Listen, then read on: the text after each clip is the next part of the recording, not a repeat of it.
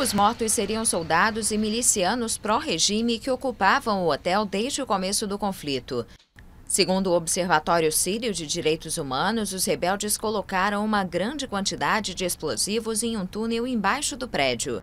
Este vídeo foi divulgado pela Frente Islâmica, a principal coalizão insurgente que já reivindicou a autoria do atentado. O Calton se tornou um lugar cobiçado na linha de frente do conflito pela localização e pela modernidade de suas instalações.